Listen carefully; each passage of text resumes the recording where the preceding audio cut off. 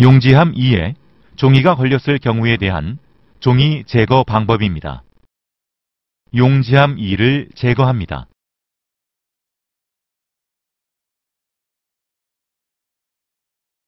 걸려있는 종이를 양손으로 잡고 천천히 제거합니다.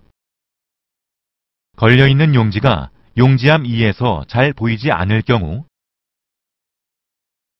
상단 용지함을 다시 열어봅니다. 종이 제거 후에 용지함에 종이를 잘 정돈하고 용지함을 다시 장착합니다.